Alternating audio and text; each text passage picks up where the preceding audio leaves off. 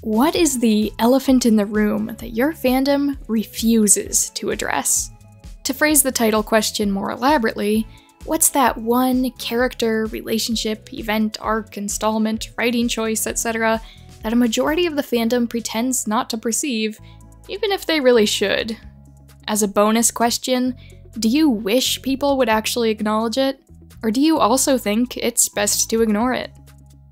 Credit to Reddit user the Reddit Girl 15 for starting this thread on the fanfiction subreddit. And let's go read some answers. But first, potential spoiler warning for a variety of fandoms. Steven Universe is about family relationships. There's not going to be some big epic battle because the show isn't like that. The amount of grown adults and teenagers who couldn't grasp the core concepts of a show made for 7 to 12 year olds is staggering.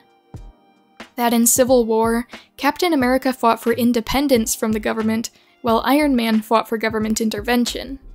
That during World War II, Cap went against orders to save his comrades. But in the fandom, Cap is a stickler for rules. Drives me nuts. In Percy Jackson and the Olympians, Yes, Annabeth had a crush on Luke and vice versa. No ifs, ends, or buts about it. But every time that's mentioned on the Percy Jackson subreddit, you're swarmed by people who go, he meant it like a sibling. Honestly, I think it's just denial on their part that Uncle Rick could ever write anything gross. I cannot stand the vast majority of Percy Jackson fans, and their incessant need to make the series the most pure and unproblematic paragon of children's fiction is basically 100% of the reason why. Like, this is all based on Greek mythology, and we all know about their wacky, incestuous shenanigans. In Naruto, the graduation numbers make zero sense. How will you ever get enough shinobi for a war if you have 9 people who graduate every year? If you want things to make sense, you need a pretty thorough overhaul of how the system works. This gets quite literal in the Beastars fandom. How did that elephant get in the room through those normal people-sized doors? This is particularly interesting since smaller animals get their own small-sized doors. I'm gonna make some people angry, but in Avatar The Last Airbender, Aang was an abusive partner and father who destroyed Katara's life, she ended up living alone, being a homebody, with strained relationships with her children because of him. He was a deadbeat dad who neglected two of his three kids in favor of his golden airbender child. The comics especially shine a light on this. In one scene, Katara is slumped against a wall, hugging her knees while Aang parties with his fangirls who blatantly flirt with him in front of her, and he ignores her pleas to be treated with respect. In the end, she is forced to apologize to him for being jealous, it's a really unhealthy relationship, and Katara deserved better. After she busted her ass to become a waterbending master, she ended up as a stay at home mother and wasn't involved in any further events. He drained out all of her ambition and vitality and did nothing to support her or make her happy.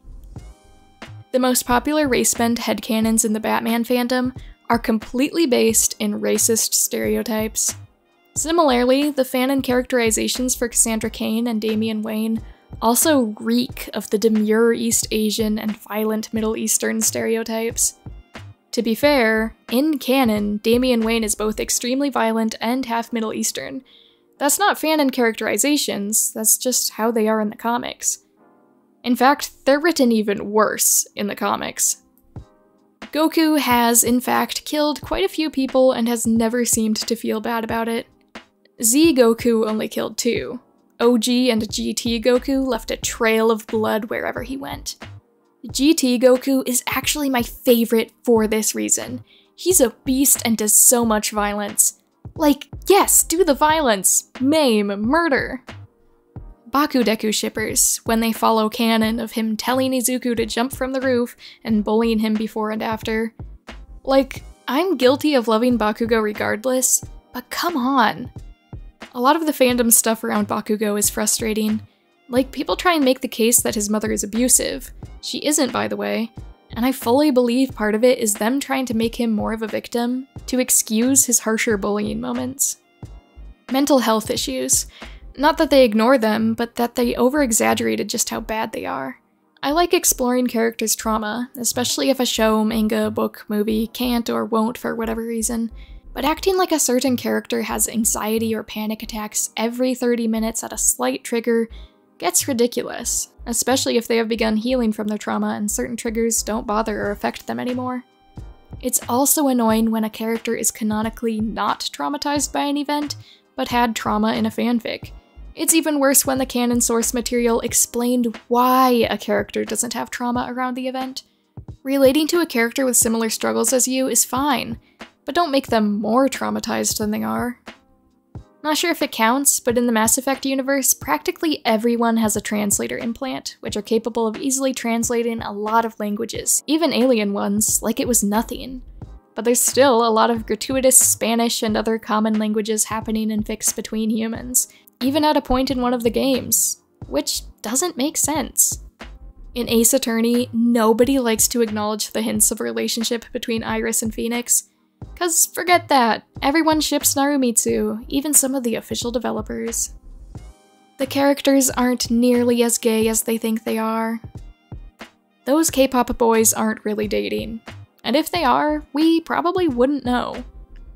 We don't talk about how in canon, the main character of our fics has less than 10 minutes of screen time total. We all pretend we do not see. Just a few minutes and a couple of lines? What do you mean? Surely this 400,000 word fanfic must be closer to the truth. The entire It fandom just collectively pretends Eddie didn't die, and I find it so charming. There are quite a few fix-it fics, of course, but probably more fics just ignore it altogether, and I love it. In the Call of Duty fandom, the infantilization of Koenig in COD because he canonically has social anxiety. They treat him as this timid, giant teddy bear that's always stuttering or just really nervous. Y'all, this is a 6'10 beast that delights in his job, which, in simple terms, is killing people. The man is not a big baby, and social anxiety doesn't turn you into a stuttering buffoon like they make it seem in a lot of fics. Yes, he would probably be a gentle giant, but he would act more like a wallflower that watches people do stuff and kinda just stays quiet. But I have noticed this in other fandoms too, mainly with characters who are really big or if they have anxiety in any ways. It is totally possible to write Demetrius as having a strained relationship with his stepson Sebastian without making the only obvious man of color in Stardew Valley into an extremely abusive parent and or abusive partner to Robin. People that think that haven't actually searched around their house, have they? Demetrius literally has a self help book about how to be a good stepfather. The man's just kind of thick headed and very focused on his work. And yeah, he probably likes his daughter more because she likes science too. But it's more complicated than Demetrius is abusive, herder. In Bungo Stray Dogs, Dazai, high key, low key, sorta most definitely abused Akutagawa in the name of training. That ain't tough love or whatever Dazai stands like to call it. He messed up Akutagawa even more than he already was, to be honest. That seems like a common trope in a lot of Japanese media for some reason. The mentor character is often the most horrible possible person, cruel and abusive and unreasonable.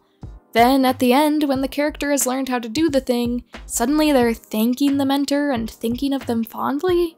I don't get it. Maybe it's a cultural thing. Supernatural had one spin off, The Winchesters, which was a prequel to the story. They had one backdoor pilot for another possible spin off, Wayward Sisters, that ultimately wasn't picked up. And that's it. There never was another attempted spin off. And there definitely wasn't an anime version of the show. I'm sorry, an anime version? We don't talk about it. It was awful. Star Wars was never actually good. It was a silly, fun Flash Gordon throwback that pioneered the used future aesthetic and just so happened to have a few actually talented people working with and for Lucas. The moment you try to take it seriously as a work of speculative fiction, it falls to pieces. The moment they tried to take it seriously, it fell to pieces. That you have every right to stand evil characters, but please don't defend them for the evil things they did. The Haikyuu fandom generally refuses to acknowledge that Inarizaki High School is a private school, because the character's dialect is often translated into an informal, stereotypically American Southern dialect, and they don't want to admit their bias in thinking that that dialect means that the characters are poor or lower income. So they write them as poor, despite the school having dorms and money for a huge band.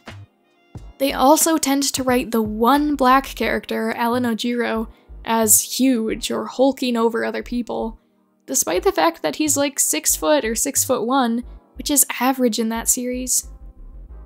In Helluva Boss, Stolas being a low effort parent, and the show wants Octavia, the daughter, to be okay with neglect and always being put aside for his trysts. The fandom always likes to excuse it with, he's a tortured gay and he loves her, but it hits a sensitive spot with parents that try but fail badly emotionally. I'll just hint at it the thought isn't enough. This is a little specific, but I'm in the Dramione ship fandom, and a lot of people in there refuse to talk about how a good portion of the fanfics are messed up in not a good way. Draco basically assaulting Hermione and framing it in a, oh, he's just possessive lighting, doesn't make it less horrible, or in any way romantic. It's assault. I don't know if this is the kind of answer you were looking for, but in the Law and Order SVU fandom, it's the fact that Liv, the main character, is kind of a really bad cop. Like, there are several times throughout the show where she could have gotten fired or arrested for doing wildly illegal things for no reason, and the fandom likes to kinda ignore it and pretend she's perfect. The realization hit me only recently, but I realized that many of the cute, cheerful, funny characters in Tensura are mass murderers with no remorse. And it's like nobody even realizes it. Haha, funny tsundere dragon. He an otaku. I agree. He is also a, drumroll please, monster who caused disasters and murdered hundreds of thousands of innocent people, if not millions. Because he was bored. I still love him with everything I have, but it sorta hit me and was quite a big shock to acknowledge. No character in Fire Emblem Three Houses is objectively right on a moral spectrum or a perfect little angel. Building on that, despite what the devs intended, Edelgard is a villain. If a character is the villain in every route but their own, newsflash, they're a villain. Her route is the villain route. Devs intended for her to be a protagonist, but guess what? You are playing as a villain protagonist. They exist, they happen. Edelgard herself knows this. She knows her way of going about things. Causing a war after reading a manifesto is wrong. She just doesn't have time to do it another way. I'm not in the fandom myself, but I'm low-key obsessed with how the Dear Evan Hansen fandom just collectively pretends Connor never died. You know, the inciting incident for the entire musical. Yeah, around 99% of fanfictions are fixits, I was deeply in that fandom a few years ago. The other 1% is just Connor freaking dies and Evan is just left there stumbling. How often the veterans just lie to the new fans. With how complex the lore is, the older players find it very funny to lie to newcomers, and it's difficult to confirm whether stuff is true or not due to how much lore there is and how many stories there have been. You can literally spend weeks reading the wiki and come out clueless. This is Enstars, by the way. Not my fandom, but my favorite trope Alpha, Beta, Omega. As a feminist who actively participates in fighting for equality for each and everyone, I kind of choose to ignore the fact that alphas are often superior and take control of omegas. Yeah, the ABO is not my thing because it so often uses gender stereotypes I'd just as soon avoid, but pretends it's cool because it's technically two dudes. The Last of Us fandom. Half of us won't even watch the show because we know Joel will die in season 2. We're just all in Delulu land. I'm in the Miraculous Ladybug fandom.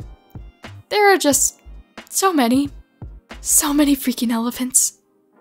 I feel you. Possibly not about the same elephants, but it and the fandom are just a mess. I'm glad that I got out. After writing around 200 fanfictions over four AO3 accounts. Any fandom where the message is be kind to each other. Big thank you to my Patreon members, my little Grooves. Kuski55, Fallen Vexen, Sam, Donka42, I Am a Noodle, John Huang, Fantastic Wreck, Laser Scorpio, Night Avenger, and Mintara. Thank you so much for your extra support on Patreon, it means the world to me. You guys are awesome, I'm so glad to have you here. Keep on being cool like you always are. And the same goes to my YouTube channel members, my mini ruse, AD, Taylor Thompson, Fox Star Killer, Logan, and D Bella.